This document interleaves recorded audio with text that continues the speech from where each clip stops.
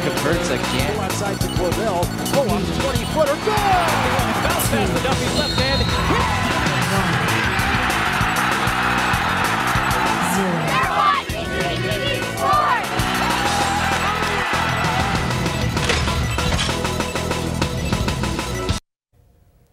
Good evening and welcome to a special CTV Sports pre-Mountain West basketball tournament show.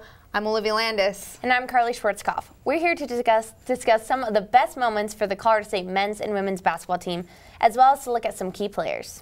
Taking a look first at the Colorado State men's basketball team, the Magnificent Seven, their name, which is so well known right now, and some of their accomplishments on the season with a video of the best plays of the year. Starting off, Karlee, the unforgettable orange out where Emmanuel Omogbo sinks a three with just five seconds left. He is something special. Mm-hmm. So Emmanuel, Emmanuel Omogbo has been such a great player for the Rams this entire season. That shot was so weird, too. I don't even know how he made it, but he did. And, you know, just last weekend, Prentiss, or on Tuesday, I mean, Prentiss hitting that shot, too. This team is so clutch under high pressure situations. Yeah. It blows my mind. It blows everyone's mind. I truly couldn't believe that this happened two consecutive games in a row where the Rams won on three point baskets with just under five seconds left. Here we can see the crowd storming the court. They did it two nights in a row. This team Magnificent Seven that that has gained so much attention. Coach Larry Eustachy, got to give him credit. He's done something amazing with these seven young men that nobody really expected. Yeah, no one expected this Colorado State team to be tied in the first place for the Mountain West. Going into the season, preseason Mountain West polls had them ranked 11th. They have mm-hmm. defied mm-hmm. all the odds. They are playing amazing, such great team basketball. You have to give credit to, there are seven players on this entire basketball team. Yeah. That is two subs. That is unreal. For tied for Mountain West, this team is talented. They know each other well. That's why they're playing so well. And looking at the statistics, you know, they they've won their 13th game in Mountain West play, which is tied for the most in all CSU history. And Coach Larry Eustachy went undefeated in February for the first time ever here at Colorado State, won seven games with these seven young men. And, you know, they're now competing for that Mountain West championship title. First time in over 25 years that they've ever been able to say that. Yeah, this is a huge deal that they could be taking this title home. And you know, when this team first started off with these seven players, they lost their first game by 21 points. Kind of gave people this look, oh, this team's not going to be as well. But they have won, you know, these games by one or two points. They they can handle the adversity. They can play well together. Mm-hmm. They have such key players too that have been consistent throughout every single game, which is so hard to do as a basketball player to be constantly, you know, you have to make this shot, you have to make that play, you have to do it, and they continue to do it time and time again. I think what's super unique about this team is that they're exciting to watch. People love watching these guys play. They're fun. They go out there, they surprise you, and they're the best defensive team in the Mountain West. So right there, you know, you every game you go to, you know you're going to be watching the Mountain West's number one defensive team. But offense is what's really turned this team around. Every team that is on, whether it's on the bench, the starting five, every player is able to produce. Yeah, and you know, Larry Eustachy preaches defense. That is all this team does mm-hmm. in practice. It is defense, hours upon hours. Don't really have an offense, which as a basketball player back in my day, that would have been my favorite thing in the world is to be able to just play free offense, which you can tell they just know. Mm-hmm. Like GN will sometimes ask them to clear the lane because they know exactly what he's going to do. Sometimes Emmanuel works so hard just to feed it to Nico down low. You can just tell they have their play set in their mind. They don't even need an offense. Yeah, and look, even just taking a look at some of these best plays of the year, we throw a few offensive plays in there, a few defensive plays, but you know Diving a little bit deeper into some of the individual players, Emmanuel Omogbo, who has been truly him along with senior Gian Clavell, the heart and soul of the team this year. He has done an outstanding job and set some records. Yeah, not only has he set records in the Mountain West, which he is ranked first for double doubles with 13. Mm-hmm. You know, he is breaking school records. He's also gaining national attention. A couple of weeks ago, he was ranked like 15th in the nation. He is a mm-hmm. great basketball player all around, super athletic. He's also a player, you know, someone who has dealt with a ton of adversity and truly overcome it. We saw in his last game, you know, when he made that last second shot, he had a ton of emotion. You can just tell this team has a lot of heart and yeah. they play hard every single game for each other, which is pretty mm-hmm. cool to watch. Yeah, it's definitely been fun to watch them, you know, having Emmanuel Omogbo with 18 rebounds on the season, 13 in Mountain West play. He's definitely going to be one of the threats, especially in that Mountain West tournament here, here, coming up this week. So for the Colorado State men's basketball team, they take on Nevada this coming Saturday to determine who's going to win that Mountain West Conference Championship. And, you know, let's take a look at the, some of the challenges head, heading into that Mountain West tournament. Who are going to be the teams to really look out that's going to give Colorado State a little bit of a struggle?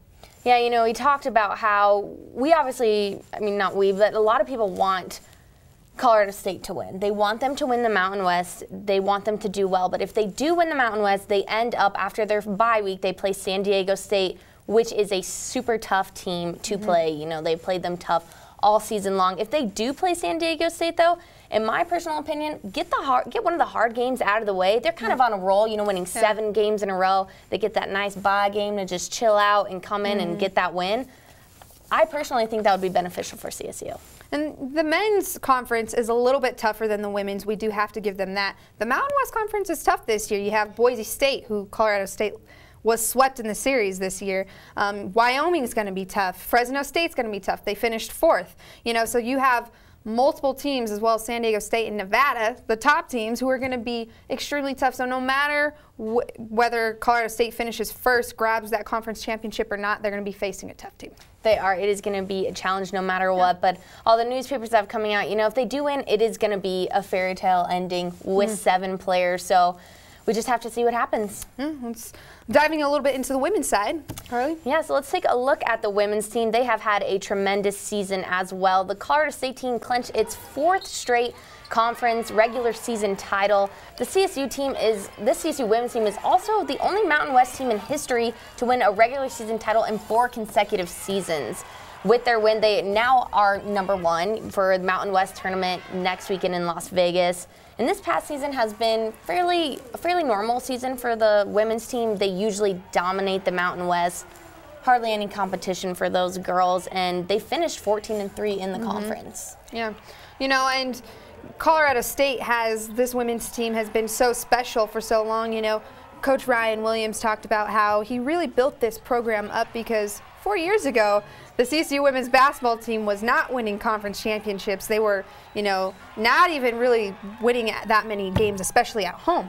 So for this coach, you got to give Ryan Williams a lot of credit because for him to come in here and completely turn this program around, that's been something special. And I think that's drawn a lot of attention to the women's team. But this team is a little bit different this year. They have two star players, Ellen Nystrom and Ellie Gustavsson.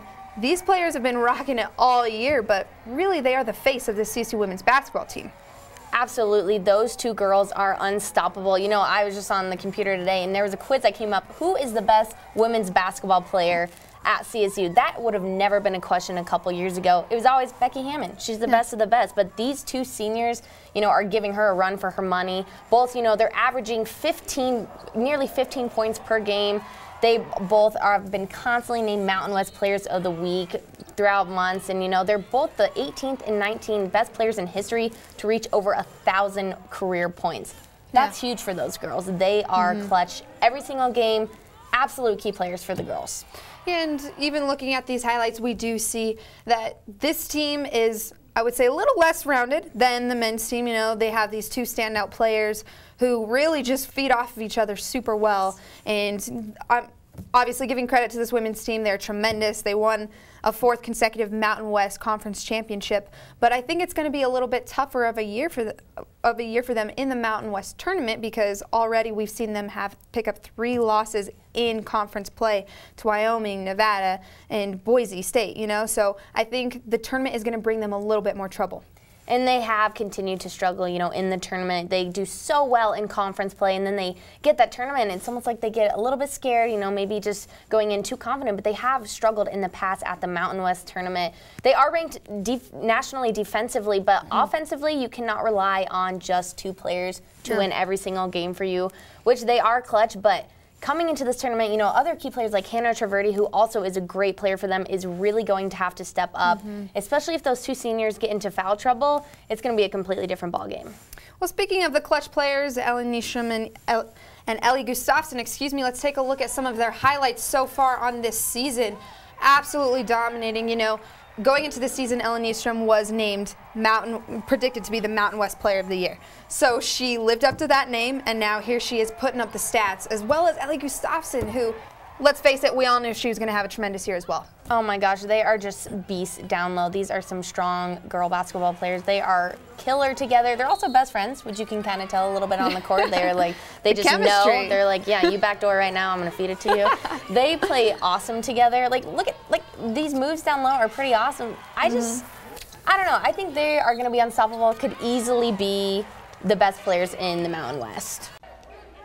Looking at Colorado State men's basketball team again, they did just come up with another huge award. Karlee, Colorado State's head coach Larry Eustachy was named just recently the Mountain West Coach of the Year, as well as senior guard Gian Clavell, who was given the honors Mountain West Player of the Year. This is huge for this team, this Magnificent Seven. Talk a little bit about that. Well, you know, head coach Larry Eustachy winning Mountain West Coach of the Year is a pretty awesome honor, especially the fact that he was coaching virtually seven players this entire season and brought them just shy of a Mountain West championship, you know, victory. That would have been the first time in 27 years, but they took second place overall in conference play, which is a pretty big deal. Awesome for him to win. He's been doing great with the program. And Gian Clavell, you know, we always say Emmanuel Omogbo is super consistent, but Gian has been consistent from the points, and that's all you can ask from a point guard. Yeah, definitely. And these, like you said, these are huge honors not only for the coach, but as well as Gian Clavell for the senior that came back from an injury and was able to recover and get those honors. But this is huge for the team. You know, now we move on to the Mountain West tournaments that we will have coverage coming this weekend. Well, that wraps up our pre Mountain West basketball tournament show. Karlee and I will be headed to Vegas this week to give you coverage on both the men's and women's basketball teams. So make sure to keep up with our Twitter accounts and CTV Channel 11's YouTube page for all of our videos. Have a great night and a safe spring break.